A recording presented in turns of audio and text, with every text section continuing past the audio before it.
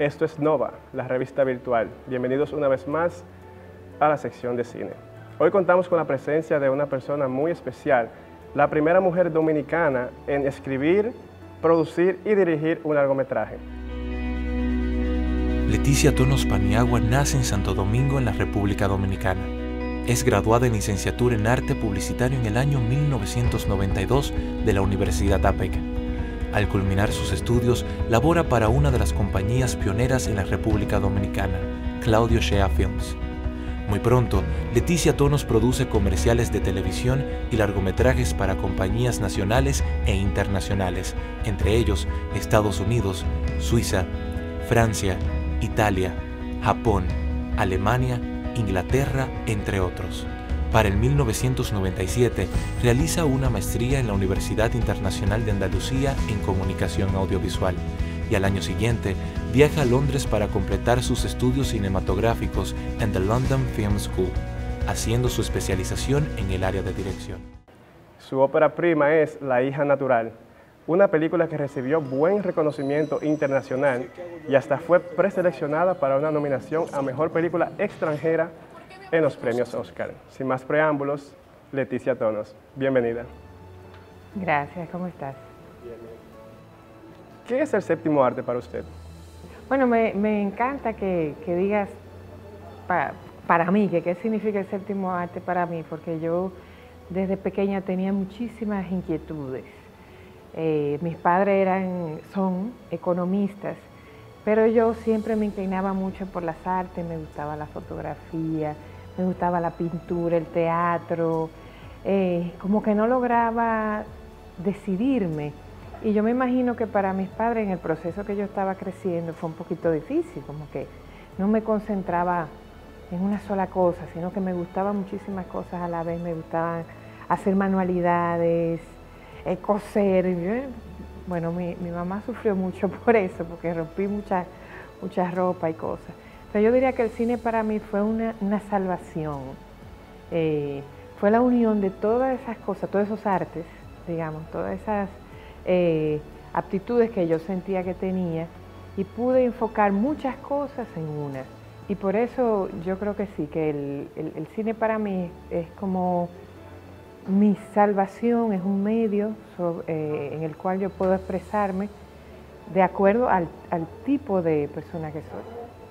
¿Por qué no trabajar el género comedia, que al parecer es más rentable en la República Dominicana? Es que contrario a lo que se podría creer, hacer comedia es muy difícil. Una comedia que funcione de verdad, una buena comedia con personajes interesantes y que te saque la risa de manera espontánea cuando tú ni siquiera lo estabas esperando. Eh, es algo, yo creo que yo atreverme a hacer comedia, me lo pensaría mucho porque creo que que ese ritmo especial que tiene que tener la comedia, eh, ese conocimiento de los personajes no, es tan fácil como uno quisiera. Que igual en, mis comedias, en mis películas, perdón, la comedia no es que esté inexistente porque es parte de nosotros. Entonces siempre eh, se ve mucho eso en La hija natural, que hay situaciones ahí súper dramáticas y de repente alguien salta con con una dominicanada, como decimos, y, eso, eso me gusta, como mezclar situaciones que pueden ser extremadamente dramáticas con la comedia, porque así es que somos nosotros los, los dominicanos. En el 2001 presenta su cortometraje de graduación en Londres titulado Israel, basado en un cuento del autor dominicano, ganador del premio Pulitzer, Juno Díaz con el que obtuvo excelentes críticas y fue seleccionado en múltiples muestras y festivales internacionales. Leticia ha participado activamente en el desarrollo de la industria cinematográfica dominicana, produciendo varios largometrajes como Perico Ripiao, del reconocido director Ángel Muñiz, y en importantes producciones internacionales como Lost City, dirigida por Andy García y The Truth. Además, es miembro fundadora de Adocine, Asociación Dominicana de Profesionales de la Industria del Cine en la República Dominicana. Aún teniendo la actual ley de cine, ¿qué cree usted que le hace falta a la industria cinematográfica dominicana? Siento que ahora todavía está un poquito enfocada a lo mercurial, es decir, a, los éxitos de taquilla todas esas cosas, que, que está muy bien, queremos tener películas exitosas, pero yo comenzaría de adentro hacia afuera, eh, sembrando esa semillita en los jóvenes, cuidando como si fueran el tesoro más grande lo que es esa nueva generación de cineastas y apoyándolo para que ellos puedan ser los que tienen esas películas exitosas en el futuro o películas que puedan viajar a festivales. Cuando hablamos de actores y directores, para que haya esa buena relación entre ambos, ¿cuáles cree usted que son las herramientas necesarias para lograr eso? Wow, es que hay tanta fórmula diferente. Hay directores que sí, que son, que tienen sistemas súper rígidos para elegir a sus actores. Igual hay actores que tienen, eh, que son muy sistemáticos en su forma de prepararse para un papel. Pero lo que a mí me caracteriza, me caracteriza, a mí me gusta la mezcla. En mi primera película, La hija natural, y ahora en Cristo Rey, que va a salir en diciembre, he utilizado actores muy experimentados pero también he utilizado actores que por primera vez están haciendo una película. Utilicé en Cristo Rey, utilicé mucho ese recurso de que la mayoría de los muchachos del barrio, de los extras, eh, papeles que tal vez eran secundarios, son muchachos de barrio de verdad, que tal vez es la primera vez que están eh, frente a una cámara. Bueno, yo creo que Leticia representa en verdad la, la nueva corriente de cine dominicano, aunque ella reconoce que, que no hace un neocine dominicano, más bien está buscando una identidad y la está buscando a través de sus películas. Y creo que su discurso en el guion es muy bien argumentado, incluso se puede ver en, en todos los asuntos técnicos que tiene la, la, película, incluso en la música, incluso en el vestuario, también en las actuaciones, donde, donde ella refleja el hecho de, de ser mujer, que es algo bien complicado en un país donde todo se maneja incluso por la mano del hombre.